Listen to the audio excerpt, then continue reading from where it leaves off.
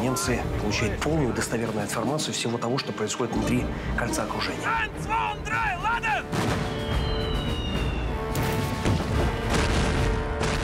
Я настаиваю на том, чтобы провести расследование и все выяснить. Ефрейтор Безгин, Илья Игнатьевич Баю, Лидия Садовская.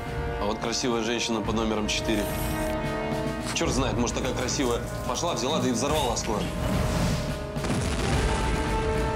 Обожаю предателей. Такие изобретательные. Снег и пепел. В четверг в 13.50.